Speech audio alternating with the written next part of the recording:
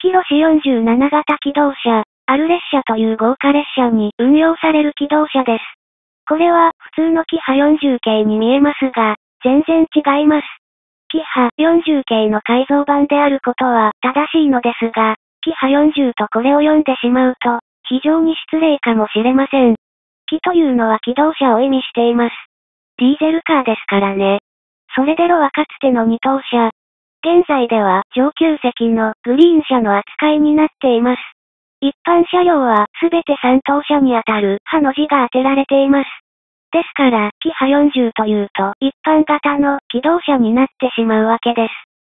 例えば、全車グリーン車のイオナダ物語でも、キロ47型、同じく山陰地方のジョイフルトレーン、アメツチ号についても、キロ47型です。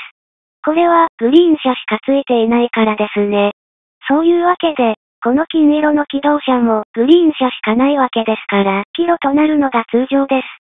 しかし、最後に死がついていますね。これは食堂車を意味しています。この車両は強食設備があるのです。ですので、キロシという変な名称になっています。どうやら過去にもいなかったようですね。なお、当該の運用についているのは団体臨時列車で、九州地方を走る観光列車です。1回2万円以上する高いコースですが、車内はゆったりしており、その中でスイーツを食べるという豪華ホテルのような列車です。